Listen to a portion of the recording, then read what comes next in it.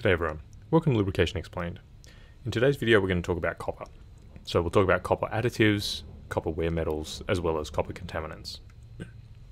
Alright, so um, there aren't that many different copper additives that you might find in your oil, but on the off chance that you do, um, there are some antioxidants, um, specifically copper salt antioxidants. They're usually present in sort of between 100 and 200 parts per million.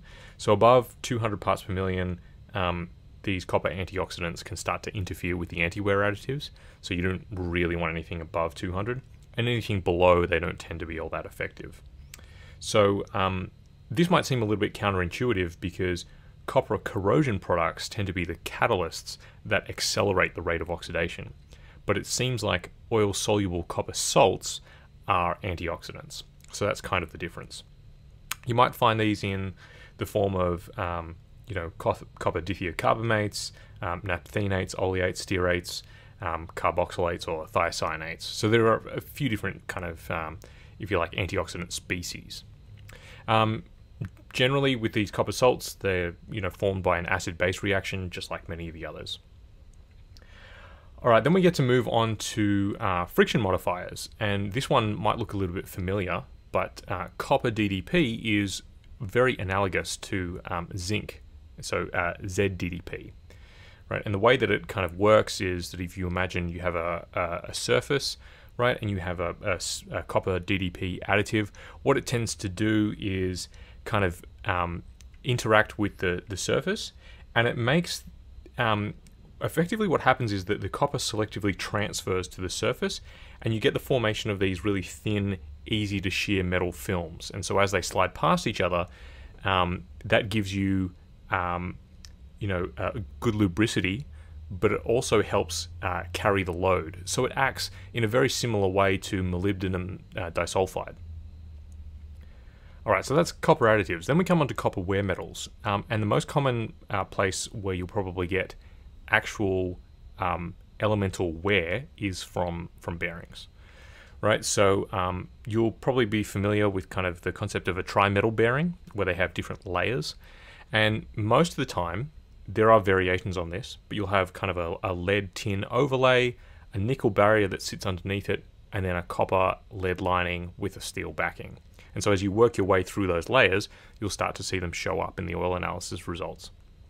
So um, you know, that copper lead lining, often it's kind of an alloy of copper. So if you know what kind of alloy it is, um, by, by comparing the ratio of copper to the alloying metal in your used oil analysis results, you might be able to determine where that wear is coming from. Um, now, these kind of bearings, you'll see them in kind of like big and small end bearings on engines. You might see them on the turbos as well. So there's a variety of different places that copper can come from. The other really common place that we see them is um, in oil coolers. Um, they're such a, a, common material to build oil, oil coolers from because they're very thermally conductive, and that's the exact kind of material that we want um, when we're building a cooling system. Right, so you'll be familiar with all of these, you know, copper tubes that helps increase the surface area, right, um, and the exposure of the oil to the to the, the cooling medium. And the way that this um, we've talked about this before, but the way that this kind of wear metal shows up in your used oil analysis results is a little bit different.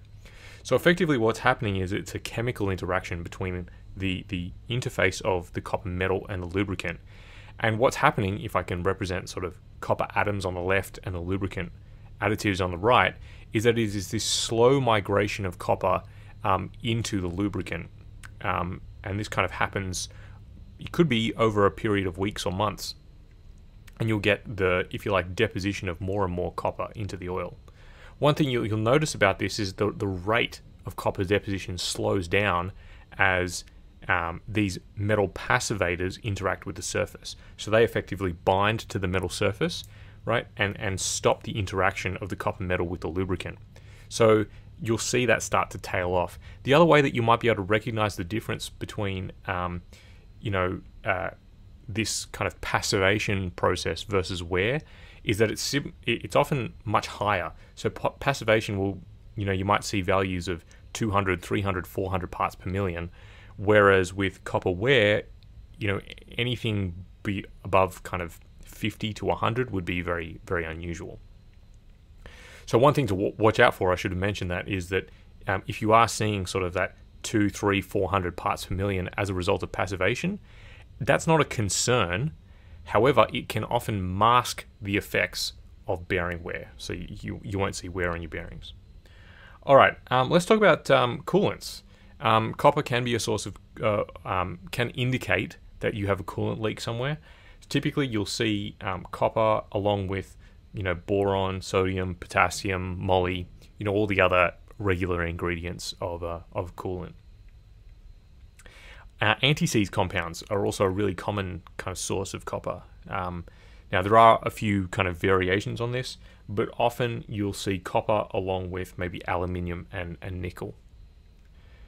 Finally, we've got copper dirt. Um, so, you know, if you're at a mine site, particularly a copper mine, um, and, and the surrounding dirt is rich in copper, that could be a, source of contamination as well. So it's just another thing to, to look for, out for.